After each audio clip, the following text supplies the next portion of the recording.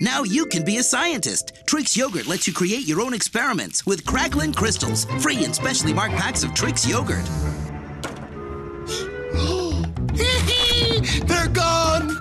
I'm finally going to have Trix yogurt, and I get to try it with these crackling crystals. Just popping in the mouth. Um, Silly rabbit. Trix are for kids. I'm already formulating my next plan.